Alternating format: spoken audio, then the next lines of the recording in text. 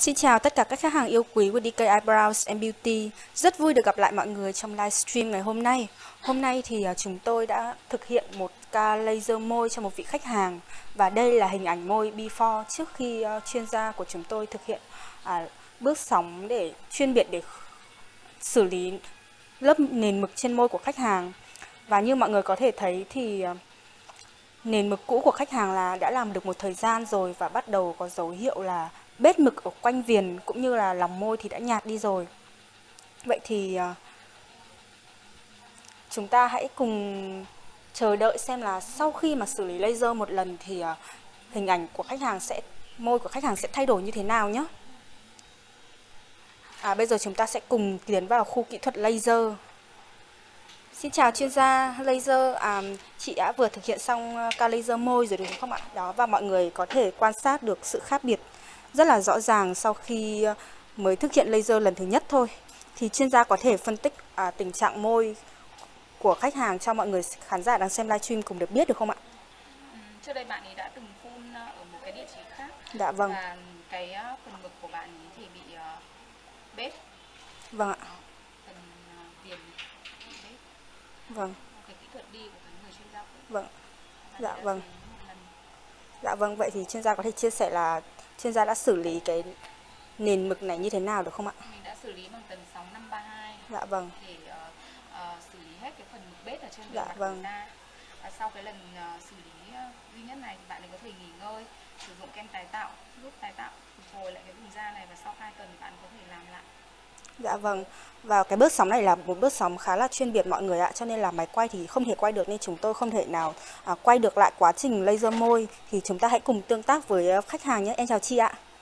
Chào em. À, vâng, chị có thể giới thiệu cho khán giả đang xem livestream được biết chị tên là gì và chị đến từ đâu được không ạ? Ờ, chào em, chị tên là Hương, chị đến từ Hà Nội. Dạ vâng. À, từ đâu mà chị biết đến DK Eyebrows and Beauty ạ? Chị có một người bạn giới thiệu qua đây để làm dịch vụ Dạ vâng. chị xóa mày, xóa môi.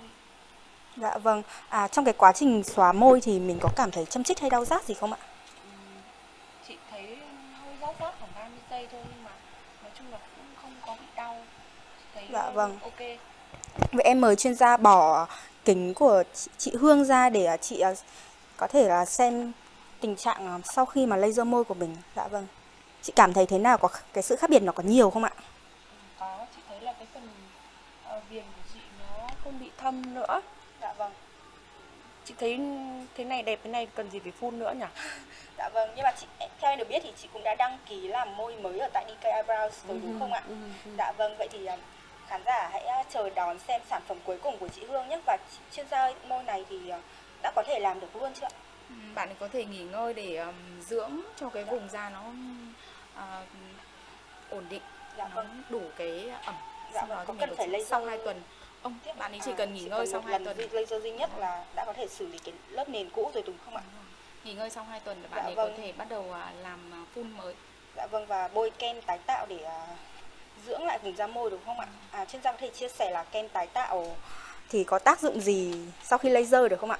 Ờ, trong cái quá trình mà sử dụng à, laser ấy thì à, cái kem tái tạo này nó sẽ giúp cho đầu tiên ấy là nó sẽ giúp cho cái gốc mực nó đào thải lên tốt, nó cung cấp đủ cái dưỡng ẩm, dưỡng chất vào bên trong cái vùng da khi mà mình tác Dạ động tia vâng. laser vào. Đó. Dạ vâng. Và khi mà da như được cái tên ẩm của nó thì- là tái tạo thì nó sẽ có cái tác dụng là tái tạo phục hồi da nhanh nhất và tốt nhất. Dạ vâng. Vâng, rất cảm ơn những chia sẻ của chuyên gia và cảm ơn chị Hương à, đã chia sẻ ngày hôm nay. À bây giờ mình lại tiếp tục thực hiện laser mày đúng không ạ? À vâng, vậy em xin mời chuyên gia thực hiện kỹ thuật laser mày.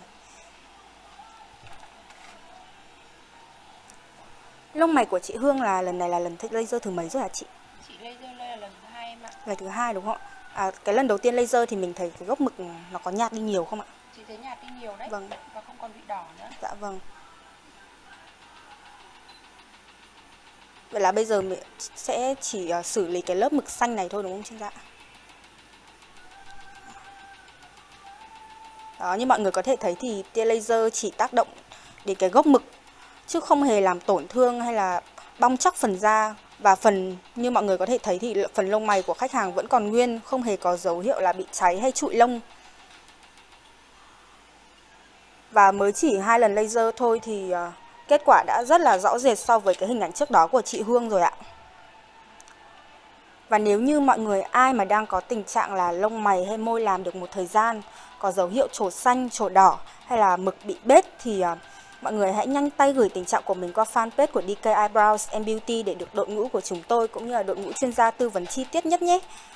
Hiện tại thì liệu trình laser thẩm mỹ mày, môi, mí đang được giảm giá rất sâu, giảm 30% cho nên là đây là một cái cơ hội rất là tốt để mọi người có thể à, có cho mình một cái diện mạo mới. Vâng, rất cảm ơn mọi người đã theo dõi livestream ngày hôm nay. Xin chào và hẹn gặp lại mọi người ở những livestream tiếp theo ạ.